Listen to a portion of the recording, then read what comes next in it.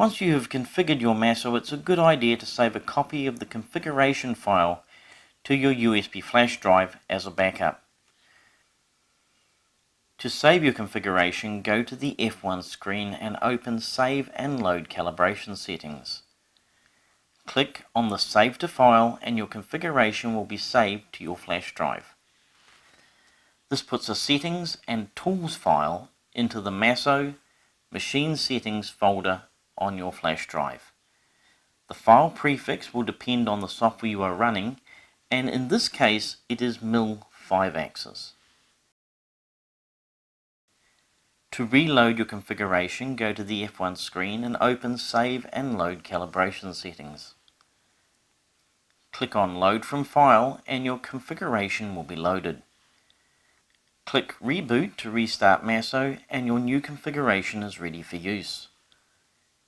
If you have more than one machine's configuration file in the Machine's Settings folder, Masso will load the one appropriate for the software you are running. If you wish to share your screen, you can do so by pressing the print screen key on your keyboard. If your keyboard does not have a print screen key, you can use Control P instead. The screen will freeze for a few seconds while a copy of the screen is put on your flash drive in the Masso Screenshots folder.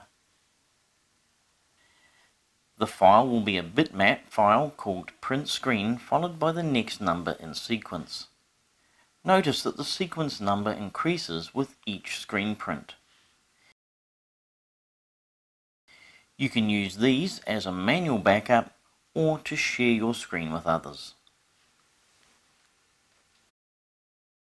The final backup option is a printable file. To save a printable version of your configuration, go to the F1 screen and open Save and Load Calibration Settings. Click the Save Printable File button and a copy of your configuration file will be put on your flash drive which you can read, print and share with others. The printed settings file contains information on your Masso serial number and what software you're running, your general settings, homing settings, spindle, lubrication and tool changer settings.